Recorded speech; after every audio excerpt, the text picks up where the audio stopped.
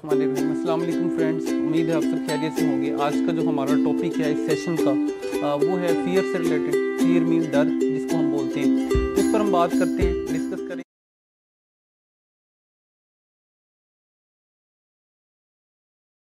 तो जी हाँ सबसे पहले हम देखेंगे कि जो फियर है ये होता क्या है? ठीक है? फिर हम इसकी टाइप्स डिस्कस करेंगे और फिर इसके मुतालिक जो क्वेश्चन हैं जो हमारे जहनों में आ सकते हैं वो हम देखेंगे। जैसे कुछ लोगों को हाइट फोबिया होता है, किसी को किसी जानवर से फोबिया होता है, उसको हम देखेंगे, उसको ओवरकम कैसे करना है। कुछ लोगों को फियर ऑफ़ डेथ होता है, ठीक है? ये एक बड़ी, बहुत वाइड टॉपिक है, इसके ऊपर पूरा लेक्चर होना चाहिए, लेकिन इसको भी हम यहाँ पे डिस्कस कर लेंगे। उसके बाद एक बड़ी ही इम्पोर्टेंट टॉपिक जिसकी वजह से अक्सर लोग और परेशान होते हैं। ये जो हमारे पास टॉपिक है, इसको नाम कुछ इस तरह से how to overcome the fear of losing someone special किसी ऐसे बंदे जिसके साथ हम बहुत ज़्यादा अटैच हैं तो उसके साथ जो हमारा रिश्ता है उस रिश्ते को ख़त्म होने से बचाने के लिए या उस रिश्ते के ख़त्मे का जो खौफ होता है उसको हम कैसे ओवरकम कर सकते हैं? ये सारे के सारे हमारे आज के मेजर टॉपिक होंगे। तो सबसे पहले हम देख लेते हैं ये जो फियर है ये चीज़ क्या है? तो हम देखते हैं जी आ, सबसे पहले मैं आपको बता देता हूँ फियर चीज़ क्या है। So basically it is an emotion ये बेसिक इमोशन में से एक इमोशन है। आ, साथ में ये क्या होता है ये अब इमोशन है और ये नेचुरल है और ये प्रोड्यूस कैसे होता है जब हमें किसी चीज़ से ख़तरा फील हो? या हमें किसी चीज़ के नुकसान का अंदेशा हो तो फिर हमारे अंदर एक खौफ तारी होता है। सो ये जो इमोशन फिर आता है, उसको हम फियर का भी नाम देते होते हैं, ठीक है? अब ये हमारी बॉडी के स्ट्रॉन्गेस्ट जो हमारे इंसानों की इमोशन होते हैं, उनमें से स्ट्रॉन्गेस्ट इमोशन में से एक इमोशन है। ये ना सिर्फ़ हमें मेंटली डिस्टर्ब करता है बल्कि ये फिज़िकली भी हमारी बॉडी के ऊपर बहुत ज़्यादा तासरात इसके होते हैं। अब इसको हम देख लेते हैं कि जैसे फॉर एग्जांपल अभी मैं आपको बताऊँ कि एक फॉर एग्जांपल आप खड़े हुए हैं और इर्द गिर्द की आपको सर्कल वाइज एक आग ने आपको घेर लिया तो हमारे अंदर एक अजीब सी एक कैफियत हो जाएगी, हम डर से जाएँगे। तो ये ही हमारे पास जो होता है, ये डर होता है। या हमारे ऊपर अचानक से कोई अटैक करे, कोई जानवर का अटैक हो, किसी भी तरह को तो हम इस सिचुएशन में अचानक हमारे एक इमोशन तारी होता है, उसको हम फियर बोलते हैं, ठीक है? अब ये वो सिचुएशन थी जब हम हम खतरा फील कर रहे हो तो फिर हमारे अंदर जो इमोशन प्रोड्यूस होता है, उसको हम फियर का है समटाइम ऐसा भी हो सकता है कि हमें कोई ख़तरनाक सिचुएशन ना हो, फिर भी हमारे अंदर जो फियर है या डर है, वो पैदा हो सकता है। वो कौन सी कंडीशन है? जैसे आप फॉर एग्जांपल मैं आपको बात करता हूँ, जैसे एग्ज़ाम का प्रेशर होता है स्टूडेंट्स पर तो स्टूडेंट्स डेफिनेटली क्या होते हैं? परेशान हो जाते हैं जब एग्ज़ाम का नाम लिया जाता है। तो एग्ज़ाम की ख़तरे वाली बात तो नहीं है। एग्ज़ाम ने हमें को थप्पड़ थोड़े मारने होते हैं, या एग्ज़ाम ने हमें कौन सा खा जाना होता है।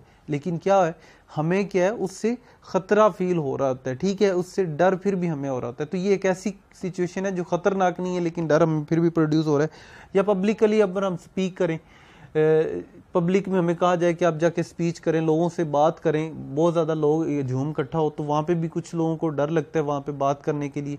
तो अब वहाँ पे कोई ख़तरा तो नहीं होता? किसी ने हमें कोई वट्टे थोड़े मारने होते पत्थर थोड़े मारने होते हैं कि जो हम डर रहे होते हैं या किसी ने हमें शूट कर देने होते? बल्कि एक गैर खतरनाक सिचुएशन में हमारे अंदर खतर, पर, खतर जो डर है वो प्रोड्यूस हो सकता है। या किसी नई जगह पे जॉब के लिए जाएँ तो वहाँ पे लोग तो कोऑपरेटिव होते हैं तो हमें कॉन्फिडेंट होना चाहिए लेकिन हमारे अंदर एक डर सा प्रोड्यूस हो जाता है। तो ये बेसिकली ये फियर होता है जब हमारे पास ख़तरनाक कंडीशन ना हो। अब ये जो डर के अंदर हमारी सिचुएशन होती है, ये डर करता क्या है? ये strong signal of response produce करता है। जब हमें किसी भी चीज़ से खतरा और डर हो तो स्ट्रॉन्ग सिग्नल ऑफ़ रिस्पॉन्स भी डर प्रोड्यूस करता है। डर हमें सेफ़ भी करता है। इसके जो फ़ायदे हैं, वो अभी हम डिस्कस करने लगे जैसे फॉर एग्ज़ाम्पल आप रोड पे जा रहे हैं, ठीक है? बाइक पे तो अचानक एक जो कुत्ता है, वो आपके पीछे भाग गया तो आप क्या करेंगे? हम अनकॉन्शियसली हमारा हाथ जो है वो रेस पे हो जाएगा, हम बढ़ा देंगे, ठीक है? या हम उसकी तरफ़ जो टांग वगैरह के साथ उसको रोकेंगे, उसको डराएँगे तो वो अनकॉन्शियसली हुआ, वो हुआ किया किसने, वो फियर था, उस फियर ने आपको सेव कर दिया। या वैसे आप पैदल हों तो फिर जो उस वक्त आपकी स्पीड होती है, वो इतनी ज़्यादा होती है, जो नॉर्मल कंडीशन में हम उतना दौड़ नहीं सकते। उस वक्त तो जो कभी नहीं भी भागा हो, जब पीछे कुत्ता लगता है तो वो उसकी भी स्पीड इतनी ज़्यादा हो जाती है कि वो बंदा परेशान हो जाता है कि ये इतना दौड़ नहीं सकता, दौड़ कैसे रहे तो ये फियर हमें इस तरह से महफूज रखते हैं। इसी तरह फियर ऑफ़ फेलियर है। किसी चीज़ में फेल होने का एग्ज़ाम में फेल होने का वो फियर है ना। तो अब वो फेलियर का फियर हमें क्या करता है? हमें फोकस करता है हमारी स्टडी पर कि पढ़ो नहीं तो फेल हो जाओगी। तो यहाँ पे तो डर हमें फ़ायदा दे रहा है। तो ये नेचुरल चीज़ है इसका होना ज़रूरी है।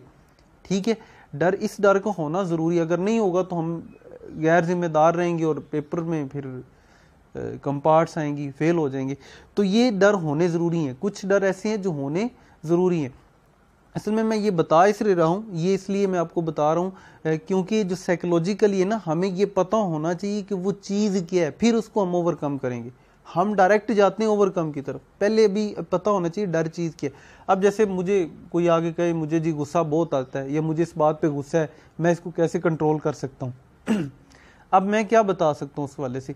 मुझे नहीं पता सिचुएशन क्या थी, किस सिचुएशन में गुस्सा आया। हो सकता है जो उसे गुस्सा आया, वो जायज़ हो। सिचुएशन ऐसी हो जहाँ पे गुस्सा आना बनता हो, लेकिन हम क्या करते हैं? हम सिर्फ़ ये सोचते हैं कि उसको ओवरकम कैसे करें। पहले उस सिचुएशन को समझे अगर वो आपके लिए फ़ायदा मंद है तो फिर उसको ओवरकम करने की ज़रूरत नहीं है। ठीक है? अब ये था फियर की, जो हमारे पास है। फियर क्या था और ये हमें किस तरह से इसके फ़ायदे हैं? ठीक है? दूसरा इसका जो फ़ायदा होता है फॉर एग्ज़ाम्पल एक, हम एक क्रिकेट टीम की बात करते हैं या कोई भी टीम है, जब वो अपने कंपटीशन के लिए जाती है तो पहले तैयारी करती है। उसे तैयारी कौन सी, उनको कंपटीशन से डर लग रहा है? नहीं। कंपटीशन में जो फेलियर है या जो हारने का डर है उस डर ने उन्हें क्या किया? फोकस कर दिया कि तैयारी करके जाओ। ठीक है तो यहाँ पे भी डर हमें फ़ायदा दे रहा है। तो इस तरह के डर को हमें ख़त्म करने की ज़रूरत नहीं है। जैसे एग्ज़ाम का डर है, भाई वो आपको फ़ायदा दे रहा है, आपको मेहनत करवा रहा है। फेलियर का डर है, वो भी आपको फ़ायदा दे रहा है। ठीक है तो या जैसे ये हमारे जानवरों से जो ख़तरनाक जानवर है, उनसे डर है, वो हमें महफूज रखता है। हम उनके करीब नहीं जाते, दूर से गुजर जाते हैं, ठीक है? एहतियात बरतते हैं। या आप जैसे हम बाइक स्पीड ओवर स्पीड नहीं करते, गिरने का डर है। उसको ओवरकम करें, भी मैं, मुझे डर ना लगे तो भाई आप फिर स्पीडली चलाएँगे एक्सीडेंट के ख़तरे बढ़ेंगे। तो ये जो डर हैं, ये नेचुरली हैं, कुदरती हैं और इनको होना ज़रूरी है। अब अगली बात मैं आपको बताता चलूँ कि हम जो है ना ये जो डर है, ये एक नेचुरल चीज़ है और इसकी एज होती है। जैसे गुस्सा है, गुस्सा हमारे पास, उसकी भी एज है। किसी को पाँच मिनट आता है, दस मिनट आता है, दस मिनट बाद ख़त्म होता है, किसी को घंटे बाद ख़त्म होता है। उसकी एज है। इसी तरह नफरत की भी एज होती है। तो इसी तरह जो हमारे पास डर है, इसकी भी एज होती है और इसकी डिफरेंट एजेस हो सकती हैं। ये भाई पाँच मिनट का भी हो सकता है। मतलब हम किसी क्रिटिकल सिचुएशन में अचानक से डरे, पाँच मिनट बाद हम रिलैक्स हो जाएँगे। कोई ऐसा डर भी होता है जो फोबिया बन के इंसान के साथ चलता है और उसकी ज़िंदगी को अजाब बना के रख देता है। और वो फिर छः महीने तक साथ चलता है, साल तक, दो, तीन, चार तक चलता है। इस तरह के जो खौफ होते हैं, इनको हमें ओवरकम करने की ज़रूरत होती है। लेकिन कुछ ऐसे नेचुरल खौफ होते हैं, जिनका होना ज़रूरी होता है, हम उनको भी ओवरकम करने की कोशिश कर रहे होते हैं। ठीक है, अब मैं आज आपको पूरी तरह से मेंटल जो है वो डेवलप कर दूँगा। ठीक है, अब अगली हम बात करते हैं जी कि अब फियर के बाद दूसरी इसकी जो टाइप है, वो हमारे पास एंग्जाइटी इसको हम बोलते हैं। ये भी फियर है, लेकिन ये हमारी इमेजिनेशन में होता है। जब हम दिमाग में रह रहे हो रियलिटी में ना रह रहे हो, उस वक्त जो हमें डर होता है, उसको एंग्जाइटी बोलते हैं। फॉर एग्ज़ाम्पल जैसे एग्ज़ाम का डर है, ठीक है, हम सोच रहे होते हैं कि क्या बनेगा पेपर आएगा मेरे सामने तो क्या होगा? तो क्या होगा, उस वक्त हमें वो एग्ज़ाम का जो एक डर सा रहता है, ठीक है? तो उसको, अब वो रियलिटी तो नहीं है, हमारे सामने पेपर या एग्ज़ाम नहीं है। अब एक्चुअल में एग्ज़ाम हमारे सामने तो नहीं है। ये तो हम एग्ज़ाम से पहले ही हम डरे हुए हैं, ठीक है? तो उस सिचुएशन ने हमें बेचैन किया होता है कि क्या बनेगा, कैसा होगा? पेपर या रिज़ल्ट आना हो तो रिज़ल्ट में ऐसे होता है बच्चों के साथ कि वो जो है ना, पहले ही अपने माइंड में सोच रहे होते हैं। तो वो चीज़ भी उन्हें बेचैन रखती कि जब रिज़ल्ट आएगा, अगर मैं फेल हो गया तो क्या बनेगा, मेरे माँ बाप क्या कहेंगे? तो वो चीज़ जो है ना उन्हें बेचैन रखती इस चीज़ को हम एनग्ज़ाइटी बोलते हैं, ठीक है? अब एंगजाइटी की सिचुएशन में या फियर की सिचुएशन में होता क्या है?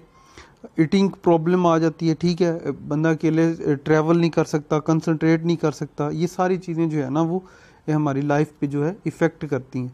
अब इनको हम कैसे कंट्रोल करते हैं? इसके अलावा इससे इससे पहले हम एक और जो है ना खौफ की किस, तीसरी जो किस्म है फोबिया जिसको बोलते हैं, उसको डिस्कस कर लेते हैं। जो हमारे पास फोबिया होता है ना फोबिया भी खौफ की ही एक किस्म है, लेकिन ये क्या होता है? ये एक एक्सट्रीम लेवल है फेयर का, ठीक है? किसी भी एक चीज़ से, वो कुछ भी चीज़ हो सकती है वो पर्टिकुलर एनिमल हो सकता है। छिपकली से किसी को डर लगता होता है, किसी को बिल्ली से, कुत्ते से बहुत ज़्यादा डर लगता होता है, ठीक है? उसके बाद हमारे पास कोई और चीज़ हो सकती है या कोई सिचुएशन हो सकती है।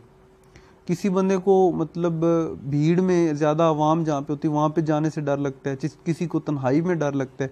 तो ये भी उसकी एक किस्म है इन सबको हम कैसे ओवरकम करेंगे? अब हम उसकी तरफ़ आते हैं, ठीक है? अब होता है कि हमारे पास? खौफ की सिचुएशन में हार्ट बीट ज़्यादा हो जाती होती है, पसीना आ रहा होता है, ठीक है? कंसंट्रेट करना मुश्किल हो रहा होता है हमारे पास। फील डेजी से हम फील कर रहे होते हैं, सुस्ती से आ रही होती है, ठीक है? और या हमारे जो मसल्स हैं, वो टेंस हो जाते हैं। ये सारी की सारी चीज़, चीज़ें किस लिए होती हैं? उस खौफ की सिचुएशन से निपटने के लिए होती हैं। अच्छा इन चीज़ों को हमने मैनेज कैसे करना है? तो सबसे पहले आपने ये बात रखने, याद रखनी कि ये नेचुरल चीज़ है, दुनिया में मौजूद हर शख्स में होता है, कोई आप अकेले नहीं है। आप में अनोखा नहीं, हर बंदे में होता है नेचुरल है, इसको होना भी ज़रूरी है। जैसे मैं पीछे आपको एक्सप्लेन कर चुका हूँ कुछ केसेस में, ठीक है? अब जैसे देखिए रनिंग अवे फ्रॉम लाइन है, वो आपको खौफ भगा रहा है। अगर नहीं भागेंगे तो क्या होगा? मरना ही है ना। तो उसने आपको क्या किया? है सेव किया। अब हम पर्टिकुलर फियर्स की बात कर लेते हैं, ठीक है? तो सबसे पहले जो हमारे पास एक, मैं बताता चलूँ जो लोगों को सबसे ज़्यादा है, वो है जी फियर ऑफ़ डेथ ठीक है? इसको एक स्पेशल ब्रांच भी है थेनेंटोफोबिया जिसको बोलते हैं। उसको में भी इसको डिस्कस किया जाता है। ये बहुत वाइड टॉपिक है, इसको ओवरकम करने के लिए बड़े ज़्यादा वेज हैं, लेकिन इसको हम यहाँ पे शॉर्टली डिस्कस थोड़ा सा कर लेते हैं। सबसे पहले जी बात इसमें ये होता क्यों है? ये लोग, कुछ लोग तो ये होते हैं, वो कहते हैं कि हम जब हम सेपरेट हो जाएँगे, लोग जो हमारे फैमिलीज़ हैं लव्ड वंस हैं, उनसे सेपरेशन की वजह से ये खौफ पैदा हो जाता है, ठीक है? या किसी को लूज खो देने की वजह से मतलब मैं उनको खो दूँगा जब मैं, जब मेरी डेथ हो जाएगी, उसकी वजह से ये होता है, ठीक है? अब जिनमें होता है, ये हर वक्त भी हो सकता है, किसी पर्टिकुलर सिचुएशन में भी आ सकते हैं। पर्टिकुलर सिचुएशन में कैसे ये आता है? जैसे कुछ लोग जब हमेशा क्या करते रहते हैं हर वक्त सोचते रहते हैं कि क्या होगा जब मरेंगे तो उसके बाद जब ज़िंदा उठाए जाएँगे तो हमारे पास क्या होगा? ये सिचुएशन या उस वक्त प्रोसेस क्या होता है? कैसे मरते हैं? कैसे जान निकलती है? तो ये जो चीज़ होती है ना वो उनके अंदर एक फोबिया एक, एक डर की इंटेंस कंडीशन प्रोड्यूस कर देती है जिसको फिर वो निकाल नहीं सकते रात को सो नहीं सकते तनहा घर से बाहर नहीं जा सकते। तो ये चीज़ होती तो सबसे पहली बात काम आपने क्या करना है? आपने इस बात को अपने माइंड से निकालना है, ठीक है? नेचुरल चीज़ है हर एक ने मरना है। जैसे इलामा इकबाल कहते हैं कि ये जो मौत है, इसके दुनिया में कोई वजूद नहीं है, ये मुंतकिली है। पहले आप एक जहान में, फिर दूसरे जहान में चले जाते हैं, ठीक है? अब उसके बाद आपने क्या करना है? ये खौफ जो होता है, ये हमें एक अच्छा इंसान बना के रखता है। जिमें आप कहते बंदे का पुत्र बना के रखता है। मतलब अगर मौत का खौफ ना हो तो हम तो जो दिल में आए करते फिरें। जुल्म करते फिरें, जो गुनाह करते फिरें। लेकिन क्या होता है, हमारे पास जो मौत का खौफ होता है, ये हमें क्या करता है, इन कामों से बचाता है। तो हमने बचना है, इबादत करनी है अखलाक अच्छे रखने, ईमानदारी से ज़िंदगी गुजारनी, फिर जो अगला हमारे पास प्रोसेस है, उसको हमने कंटिन्यू करना है। अब हमारा माइंड सेट ये होगा कि वहाँ पे अच्छा होने वाला है, क्योंकि हम अच्छी ज़िंदगी गुजार रहे हैं। ठीक है तो जो हमारा माइंड सेट है, वो अच्छा होगा, और हम जो है आगे जो है उससे ज़्यादा नेमतें जो है वो मिलेंगी। ठीक है? इस बात को अगर आपने ज़्यादा एक्सप्लेन करवाना है, क्योंकि अभी हमारे पास टाइम नहीं है वीडियो ज़्यादा लंबी हो जाएगी तो हमने क्या आप लोग क्या करना है? इधर कमेंट सेक्शन में मैं पिन कर दूँगा अपना जी मेल वहाँ पर आप मुझे बता दीजिएगा, मैं वहाँ पे आपको डिटेल इसकी सेंड कर दूँगा। ठीक है? रिटर्न फॉर्म में। उसके बाद जी दूसरी जो सबसे बड़ा खौफ लोगों को जहनों में होता है, वो है जी फियर ऑफ़ लूजिंग समवन किसी ऐसे बंदे को जिसके साथ हम बहुत ज़्यादा अटैच हो चुके हैं। उससे हम कैसे जो है, इस खौफ से कैसे छुटकारा हासिल कर सकते हैं? तो भाई सबसे पहली बात, हम फियर को रिलेट करते हैं। फियर का ताल्लुक होता है डिज़ायर के साथ, ख्वाहिश के साथ। जिस चीज़ की जितनी ख्वाहिश होगी, उतना उसको खोने का डर होगा। जिस चीज़ की जितनी ख्वाहिश होगी, उतना ही उसे खोने का डर होगा। फॉर एग्ज़ाम्पल एक बंदा जो है, वो एग्ज़ाम पास करना चाह रहा है सी एस एस के। वो बहुत ज़्यादा उसकी ख्वाहिश है कि मैं पास करूँ। ठीक है। लेकिन क्या है, उतना ही उसे डर भी होगा कि अगर मैं पास ना कर सका तो क्या होगा? ठीक है? इसी तरह अगर आप किसी एक के साथ अटैच हैं, किसी पर्सन के साथ तो जब आप उसके साथ जितना ज़्यादा अटैच है, उतना फेयर होना नेचुरल है। आप कभी भी फेयरलेस नहीं हो सकते। अब ये फेयर क्या करता है? आपको उसकी कदर करवाता है। अगर खोने का खौफ ही ना हो तो आप उसकी कदर नहीं करेंगे। डेफिनेटली फिर आप कहेंगे कि जाता है तो जाए। लेकिन क्या है आप कभी भी उसको खोना नहीं चाहते तो उसकी कदर करेंगे। ठीक है? उसके बाद जी इमोशन इमोशन को ख़त्म करते हैं। ठीक है? जब से फियर है ना, किसी को खो देने का फियर है, इसको ख़त्म करने के लिए जो इमोशन आपके पास आएगा, वो है जी लव है। ठीक है? मैं पहले भी एग्ज़ाम की मिसाल दे चुका हूँ, अगर किसी को एग्ज़ाम के साथ लव हो जाता है तो फिर वो क्या करेगा? उसकी खातिर जो है ना टॉर्चर बर्दाश्त करेगा। बारह बारह, चौदह चौदह घंटे पड़ेगा ठीक है, फिर उसके माइंड से निकल जाएगा, वो इतना पैशनेट हो जाएगा लव इतना ज़्यादा स्ट्रॉन्ग हो जाएगा कि वो फिर उसको फियर उसके माइंड में ही रहेगा। तो आप भी उसके साथ, जिसके साथ अटैच हैं, अगर आप लव करते हैं तो फियर नहीं होगा। Where there is love there is no fear and where there is fear there is no love ठीक है? इमोशन इमोशन को ख़त्म करते हैं। जैसे आप किसी के साथ लव करते हो तो तब तक आप लव करते रहेंगे जब तक उसको नफरत नहीं होगी। उससे आपको नफरत नहीं हो जाएगा। क्योंकि दूसरा जो इमोशन नफरत है, वो आएगा तो पहले वाला इमोशन खत्म होगा। इसी तरह जहाँ पे आपको खौफ है, आप लव को इतना स्ट्रॉन्ग कर दें कि वो इस इमोशन को ख़त्म कर दे। अब मैं मैं आपको वो भी बता चुका हूँ कि जब तक आप इतने स्ट्रॉन्ग हैं या ये जो इमोशन ऑफ़ लूजिंग है, ये आपको उसके साथ ज़्यादा बाइंड करके रखता है, उसकी अहमियत आपको दिलाता रहता है कि अगर मैं खो, कहीं मैं खो ना दूँ। तो इसके लिए आपने क्या करना है? एक तो ये कि उसके लिए आसानियाँ पैदा करनी, इस प्रेजेंट मोमेंट को इन्जॉय करना है, सोचो में नहीं जाना। प्रेजेंट मोमेंट को इन्जॉय करने का मतलब ये है कि आप जो अभी हैं उसको इन्जॉय करें। अगली जो माइंड है, जो आपने कहा हुआ कहीं आगे जाके मुझसे ये बिछड़ ना जाए, वो भाई आपके प्रेजेंट मोमेंट को भी ख़राब करेगा। उसको सोचना नहीं है। गुमान अच्छा रखना चाहिए।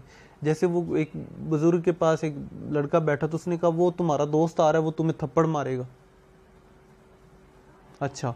अब उसने कहा, ये कैसे हो सकता है बाबा? उसने कहा, बाबा ने कहा, जी मारेगा। तो जब वो आया, उसके पास उसने सच्ची में थप्पड़ मार दी। अब उसने पूछा, बाबा जी, आपको कैसे पता चला? कहा बेटा, मैंने आपके माइंड में गुमान पैदा किया कि वो तुम्हें थप्पड़ मारेगा। तुमने वो गुमान पैदा कर लिया। अब तुम्हारे माइंड से जो ये गुमान था, इस लहरों की वजह से उसने आके तुम्हें सच्ची में थप्पड़ ठोक दिया। उसको पता चल गया कि ये ये सोच रहे ठीक है, जैसा हम गुमान करते हैं, वैसे ही हो जाते हैं। यही वजह है कि एक हदीस में भी है कि हमेशा गुमान अच्छा रखना चाहिए बंदे को। ठीक है तो अब जो गुमान रखेंगे, वैसा होने के चांसेस भी हैं। अब गुमान ही रखेंगे, कभी नहीं बिछड़ेगा नहीं बिछड़ेगा। मेंटल लाजमी नहीं है कि हम जो बात करते हैं, वही होती है, बल्कि हमारे माइंड्स की लहरें आपस में अटैच होती हैं। तो वो अगर आपकी स्ट्रॉन्ग है, वो आपकी ये है कि मैं कभी भी इसको बिछड़ने नहीं दूँगा तो आप डेफिनेटली आप नहीं बिछड़ेंगे। ठीक है तो ये है आपके पास। इसके भी आगे और बहुत से पहलू निकलते हैं, लेकिन अभी तक यही रखें। आप फियर को लव से आप रखें, ठीक है? जहाँ पे फियर होगा, वहाँ पे लव नहीं होगा। जितनी ज़्यादा आप किसी चीज़ की ख्वाहिश करते जाएँगे, उतना आपको खोने का ख़तरा बढ़ता जाएगा, और ये नेचुरल है, ये बात अपने माइंड में याद रखनी है। इससे परेशान नहीं होना, ये हर एक के साथ होता है, ठीक है? और ऐसे भी, जो भी चीज़ आपको मिलेगी, उसको खो देने का खौफ रहेगा हमेशा से। लेकिन उसको आपने अपने गुमान में अच्छा रखना है कि वो नहीं खोए जाएगी, या वैसे जो पीछे मैंने आपको बता चुका हूँ, वो आपने याद रखना है। ठीक है? उसके बाद हाइट का फोबिया है। हाइट फोबिया मीन आपने जब स्टार्ट में ये आपको शुरू हुआ होगा, उस वक्त आपने कभी हाइट पर चढ़े होंगे और उसको माइंड पे अपने सवार किया होगा तो वो जो चीज़ें आपने सवार की हुई हैं, इनकी वजह से होता है। उसके बाद है जी अंधेरे का खौफ है और अकेले सोने का खौफ है, ये भी हमें एक क्वेश्चन हमारी किसी बहन ने किया था। तो अंधेरे का भी खौफ और अकेले सोने का खौफ, ये भी इसी वजह से होता है, जब आप अंधेरे में होंगे या अकेले, तन्हाई में होंगे तो आप परसेप्शन करती हैं। कोई ना, नई चीज़ सोचती हैं जिसकी वजह से आपको ख़तरा होता है। ख़तरनाक चीज़ें सोचती हैं। आप माइंड में हुरर मूवी चलाते हैं, जिसकी वजह से फिर आपको खौफ प्रोड्यूस हो जाता है और वो खौफ फिर आपको डराता रहता है। ठीक है? तो वो आपने काम नहीं करना। अपने माइंड में हॉरर मूवी नहीं चलानी। और एक और बात, जो आप माइंड में रह के जो डर लग रहे हैं ना, ऐसी चीज़ जो रियलिटी है ही नहीं, उसके आप ओवरकम नहीं कर सकते। आप जब तक उसको सोच को नहीं बंद करेंगे, वो आप ख़त्म नहीं कर सकते। ठीक है? अच्छा जी नेक्स्ट जी एक, ये हमारी बहन ने क्वेश्चन किया था कि ऊपर से नीचे जाते हुए डर लगता है। मतलब कमरा उनका ऊपर है और जब बच्चे नीचे से, वो ऊपर जाते हैं या ऊपर से बच्चे नीचे आते हैं तो वो कहते हैं, मुझे ये खौफ रहता है कहीं को गिर ना जाए। तो ये आपकी परसेप्शन है, मैं पहले भी बता चुका हूँ, ऐसी परसेप्शन जो हकीकत जिसका रियलिटी से ताल्लुक नहीं है, उसको हम ओवरकम नहीं कर सकते फियरलेस नहीं हो सकते। अब इन कामों को आप ऐसे कर सकते हैं कि आप लिखें, कि आपने कितनी बार इतना सोचा तो हज़ारों बार आपने ये नेगेटिव सोचा होगा। या तन्हाई में जो होते हैं, या जो अंधेरे में होते हैं कि कहीं यहाँ पे चढ़ेल आ जाएगी भूत आ जाएगा, ऐसा हो जाएगा, ये हो जाएगा, ठीक है? या वो जो आप हैं, आप ये सोचती होंगी, बच्चे गिर जाएँगे या मैं गिर जाऊँगी। आपने हज़ार बार सोचा होगा, लेकिन एक्चुअल में कितनी बार हुआ? ज़ीरो टाइम या एक टाइम तो आप देखिए, आपके सोचने और एक्चुअल रियलिटी में कितना फ़र्क है। तो आप रियलिटी में आए। रियलिटी में ऐसा नहीं होता। ये माइंड पे बात रखें तो ये आपका इंशाल्लाह खौफ ख़त्म हो जाएगा। कहीं अल्लाह नाराज़ ना हो जाए भाई। ये क्वेश्चन है भाई का कि मुझे इस बात का डर होता है। भाई, इस बात का डर आपको होना भी चाहिए, क्योंकि ये डर आपको क्या करेगा? आपको अल्लाह के करीब रखेगा और आपको लोगों के सामने जो है, उनको जुल्म करने और नेक बनाने में ये मदद देगा। ये बड़ा अच्छा डर है। इस तरह का डर या मौत का डर, वो मैं पहले बता चुका हूँ, इसका भी होना चाहिए। इसके बाद एक क्वेश्चन है हमारी बहन का। ये एक मजाया किस्म का, आप कह लें क्वेश्चन है। लेकिन अच्छी बात है, इतना कॉन्फिडेंस है कि हर तरह का उन्होंने क्वेश्चन किया परचेजिंग करते हुए डिस्काउंट करवाने का वो कहती जी, खौफ है। ये खौफ नहीं है। दिस इज़ बेसिकली ये आपके पास कॉन्फिडेंट की कमी है। तो कॉन्फिडेंट रहा करें। ऐसा कभी भी नहीं हुआ कि परचेजिंग के दौरान आप यही समझते होंगे, कहीं वो आगे से इंसल्ट ना करते। तो ऐसा कभी भी नहीं होता। कोई भी दुकानदार अपने गाहक को कभी भी आगे से जो है, उसकी तजलील नहीं करेगा। अगर आप उसको सौदा मतलब उसके बस की बात ना हो इसको नुकसान होता हुआ तो आप नहीं करेगा। आप डिस्काउंट की बात कर सकते हैं। आपका हक है। इसका आपको कॉन्फिडेंट क्रिएट करना पड़ेगा। ये जी आपके पास डिफरेंट तरह के फियर थे और हमने उनके जवाब देने की कोशिश की है। उम्मीद है कि ये आपके लिए हेल्पफुल होगा। ठीक है? और अगर आप हमारे इस चैनल पर नए हैं तो काइंडली ज़रा इसको सब्सक्राइब कर दें और कमेंट्स में अगर कोई मसला है तो आप पूछ भी सकते हैं। जी मेल हमारी जो है, वो पहले कमेंट में पिन हुई हुई है, वहाँ पर आप हमें जी भी कर सकते हैं। ठीक है, अगर कोई और इशू है तो वो वहाँ पे इंशाल्लाह आपको आंसर मिल जाएगा। लेकिन चैनल को सब्सक्राइब लाजमी करें और शेयर भी कर दें। बहुत शुक्रिया। तो जी हाँ सबसे पहले हम देखेंगे कि जो फियर है, ये होता क्या है? ठीक है, फिर हम इसकी टाइप्स डिस्कस करेंगे और फिर इसके मुतालिक जो क्वेश्चन हैं, जो हमारे जहनों में आ सकते हैं, वो हम देखेंगे। जैसे कुछ लोगों को हाइट फोबिया होता है, किसी को किसी जानवर से फोबिया होता है, उसको हम देखेंगे, उसको ओवरकम कैसे करना है? कुछ लोगों को फियर ऑफ़ डेथ होता है ठीक है, ये एक बड़ी, बहुत वाइड टॉपिक है। इसके ऊपर पूरा लेक्चर होना चाहिए, लेकिन इसको भी हम यहाँ पे डिस्कस कर